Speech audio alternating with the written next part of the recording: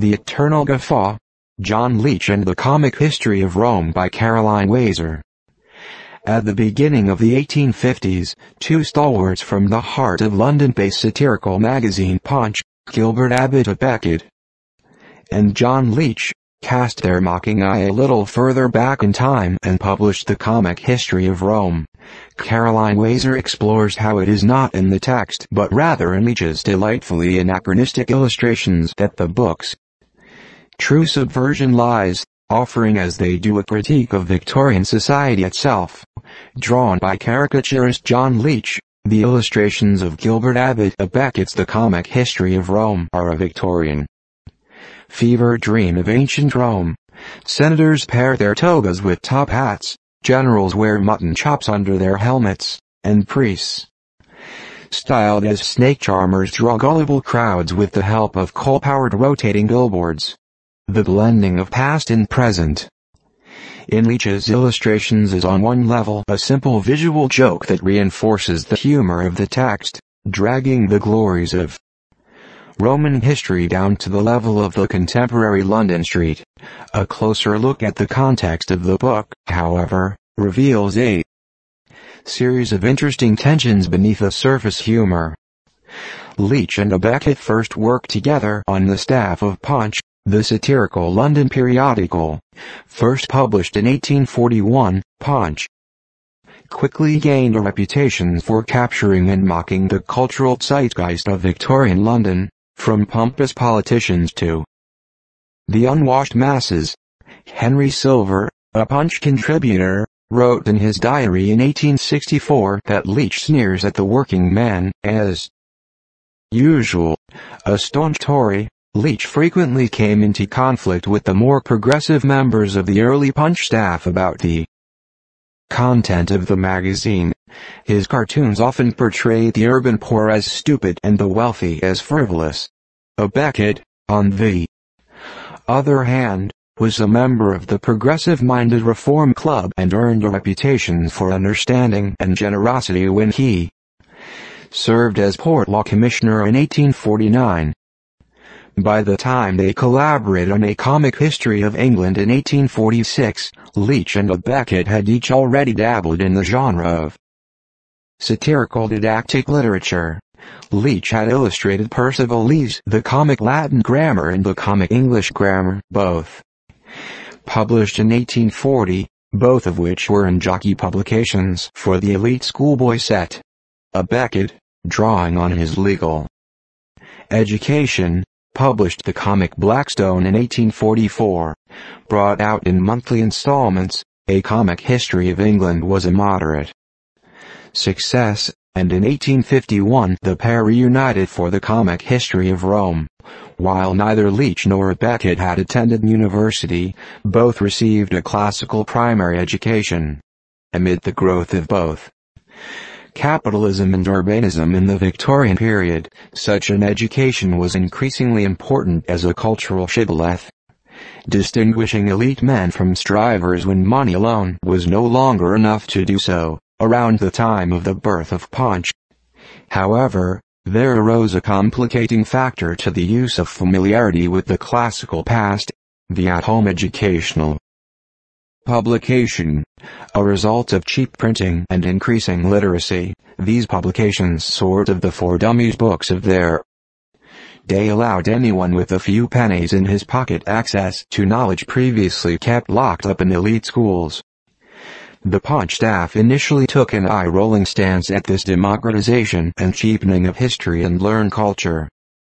One issued from 1843 included a satirical feature titled History at One View, which arranged major events according to the month in which they occurred without regard to year, producing a nonsensical historical hodgepodge. The feature proclaimed itself to be arranged expressly with an eye to the Society for the Confusion of Useful Knowledge, in a jab at the real and very earnest Society for the Diffusion of Useful Knowledge. Other targets of ridicule included bad schoolboy Latin and popular retellings of Greek and Roman mythology. Punch soon stopped wrangling with the new climate of learning, at least in print. Some of the staff found this sneering attitude distasteful. As writer Douglas William Jerrold put it in an 1846 letter to his friend Charles Dickens, the world will get tired. At least, I hope so, of this eternal guffaw at all things. After all, life has something serious in it. It cannot be all a comic. History of Humanity a Beckett's preface to the comic history of Rome begins with a disclaimer. Despite the casual language and jocular tone, this work has been prompted by a very serious desire to instruct those who, though willing to acquire information, seek in doing so as much amusement as possible. Men like Jerrold who doubted the value of comic histories were grievously mistaken who have imagined that in this the object has been to treat history as a mere farce, or to laugh at truth. For his part, a Beckett mostly lived up to his word. He breezes through Roman history like a professor emeritus at a cocktail party, displaying both a gently dry sense of humor and a deep familiarity with the content and tricky nature of the ancient sources. He closes the first chapter as follows. Before closing this portion of the narrative of the history of Rome, it is necessary to warn the reader against believing too much of it. The current legends are, indeed, legenda, or things to be read, because everybody is in the habit of repeating them. But the student must guard himself against placing credence in the old remark, that what everybody says must be true, for here, is a direct instance of what everybody says being decidedly otherwise. The life and reign of Romulus are to be taken not simply cum grano salis with a grain of salt but with an entire cellar of that condiment, which is so useful in correcting the evil consequences of swallowing too much of anything. Leech's images sometimes stick close to the text, as in the full-color plate that portrays the legend of Romulus and Remus as a Mother Goosey SQUE fairy tale. Often, however, Leech used his illustrations to draw explicit and sometimes cutting connections with modern Victorian life. The subject matter of the text, which covered Roman history through the fall of the Republic, certainly lent itself to comparisons with mid-19th century London, especially in the latter part of the period covered. Rome saw a booming poor urban population, the growth of a snobby urban intelligentsia, and the development of what many saw as overtly demagogical politics. In other words, the same thing that Leech regularly skewered in the pages of Punch. The subject of Roman history allowed Leech to make some satirical references too obscure or too reactionary for Punch's pages.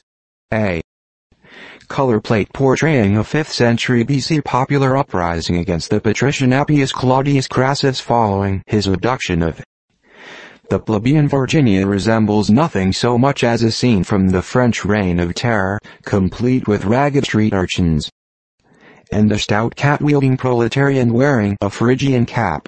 More frequently, however, Leech used the Roman setting simply to poke fun at familiar urban characters, particularly the working classes. In the images below, Leech portrays the revered Greco-Roman healing god Aesculapius as a crotchety old apothecary, and a Carthaginian soldier as a timid municipal policeman. Another favored target was the rich man who, whether out of desire for power or cultural cachet, over-involved himself with the poor. In one illustration, Tiberius Gracchus, a populist Roman reformer, becomes a top hat-wearing, baby cheek-pinching demagogue, seedily winning popular favor by charming poor women. In another, Leech depicted a gladiator and his owner as a brutish modern-day boxer, note the gloves and his foppish patron. Note the dangling cigarette. Back at Punch, Leech had developed a reputation for overwhelming the text with the approachability and humor of his Illustrations William Makepeace Thackeray, who frequently contributed to the magazine, once wrote that John Leech's Punch. A similar statement could be made about the comic history of Rome, despite a Beckett's earnest assertion that the book was not meant to make light of history. By projecting his satirical view of the present back onto ancient Rome, Leech injected a certain nastiness into the comic history of Rome that echoed and reinforced his nasty view of the present. It is easy enough to imagine a curious but uneducated middle-class Londoner enjoying the Beckett's avuncular jokes, but what would he make of Leech's illustrations? Possibly he would be offended, but possibly conditioned by Punch and similar publications. He would take part in Leech's eternal guffaw at society. Caroline Wazer is a PhD candidate in the Department of History at Columbia University. Her dissertation focuses on the concept of public health in Imperial Rome, from religious ritual to sewer maintenance. She also writes about the use of ancient Rome as an aspirational model for urban life in the Victorian world. For more, visit www.carolinewazer.com.